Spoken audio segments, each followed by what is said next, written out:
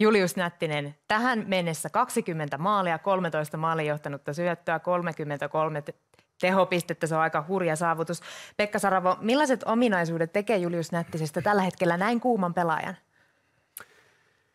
No mä kiertäisin tämän just sillä, että tällä hetkellä hänestä tekee noin hyvän pelaajan se reagointi näihin, miten hän on osannut parantaa peliä ja suhtautumista varsinkin vastoinkäymistä ja vähän niin kuin tossakin oli heikko viime kausi ja vähän koirankopissa ja muuta, niin se reagointi siihen, että mitä sit pitää tehdä. Eli et, koirankoppi tarkoittaa katsomusta. Juuri näin, että ei, ei pääse pelaamaan niin paljon kuin oikeastaan haluaisi ja välillä ansaitsisikin, mutta se reagointi siihen, että mitä sitten tapahtuu tulevassa, ei siihen jääminen kiinni siihen, mitä, mitä menneessä on, vaan siitä eteenpäin meneminen. Ja sitten mun mielestä näkyy tämän, tällä hetkellä hänen pelissään semmoisena oikeanlaisena malttina, ajotukset tulee paljon paremmin. Se tuntuu, että joskus hän kaaha sitten se jo vähän ulos tilanteista, että nyt se on kokonaisvaltainen ajottaminen siellä jäällä ja sitten kun se paikka tulee, niin sä oot oikeassa hetkessä menossa ja tekemässä ja sitten tietysti hyvällä laukauksella ja hyvällä viimeistelyllä niin pystyy tekemään tulosta, joka sitten taas tuplaa ja tuplaa ja tuplaa koko aika sitä itseluottamusta ja se on semmoinen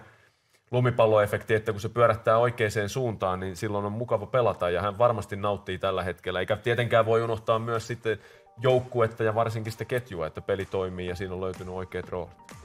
No Ika, jos sä katsot tuota Julius Nättisen polkua, siellä on leijona polkua, on käyty OHL, Pohjois-Amerikassa juniorisarjoissa, on pelattu AHL, Mestiksessä, liigassa. Miten sä näet, miten tämä matka on vaikuttanut tuohon hänen kasvuun ja kehitykseen? No tietenkin, tietenkin juniorisarjoissa niin pisteitä tulee ja pystyt maaleja tekemään ja pystyt olemaan johtava pelaaja niin seurajoukkueessa kuin maajoukkueessa ja, ja, odotusarvot kasvaa. Tässä on niin miesten sarjoihin siirtyminen ei ole sujunut, sujunut kivuutta, mikä on hyvin yleistä lähes kaikille junioripelaajille. Et mä oon aina toimistolle ja pojillekin on puhunut, että esimerkiksi jos Mestiksestä siirryt liikaan, niin ota puolet maaleista heti pois.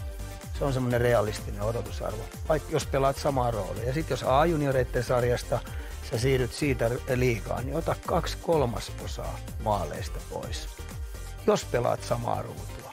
Ja jos oot vähänkin pienemmällä roolilla, niin sä voit ottaa jopa 90 osaa pois maaleista. Et miesten sarjat on niin kovia ammattilaissarjoja, siellä tuloksen tekemistä ei ole raakileille pojille todellakaan helppoa. Sen takia niin yleensä pelaajien odotusarvot vähän hämärtyy. Ja luulee itsestään, että ne pystyy tuosta noin vaan siirtää tämän saman tekemisen miesten tapahtumiin. Ja se ei näin mene. Ja silloin kun sä henkisesti oot valmistautunut siihen, niin ne litsarit poskeen on aika kovat.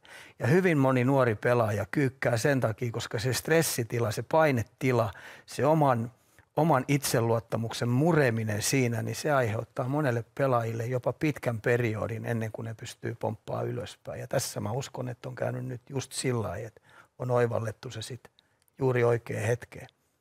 No aivan varmasti on oivallettu nimittäin, jos Julius Nättinen tällä maalintekotahdilla jatkaa, hän tekee yhden kauden maalintekoennätyksen. Viimeksi sellainen on tehty 87-88 kaudella Arto Jaavanainen, joten siitä on jo hetki aikaa. Jos siis Julius tällä tahdilla pystyy maaleja tekemään, se olisi 50 maalia ja jo 30 maalia runkosarjassa tekee pelaajasta aivan huippu suoritteen tehneen pelaajan.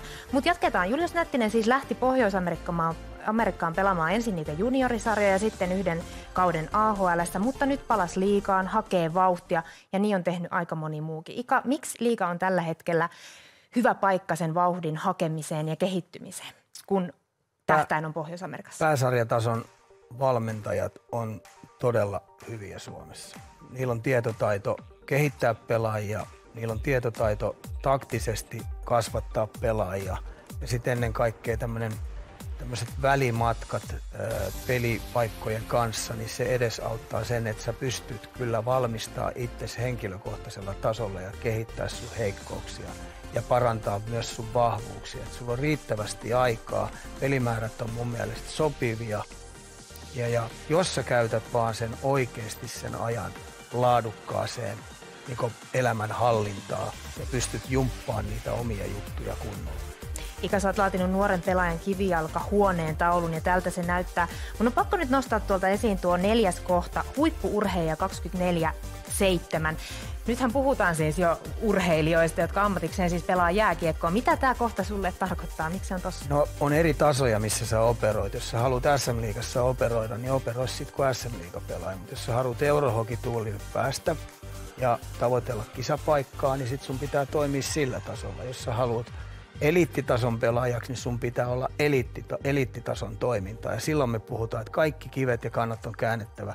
Syöksä munkkeja, otaksa pari kaljaa, otaksa viikonloppuna lauantaina, meet baariin istumaan. Eli me puhutaan ihan valintoja, se on valintojen maalima. Ja silloin, jos sä haluat NHL-tason pelaajaksi, niin silloin sä teet ne valinnat sillä lailla, että sä oot eliittitason toiminta ja kaikki, mikä siihen päivittäiseen rytmiin kuuluu, palvelee kehittymistä.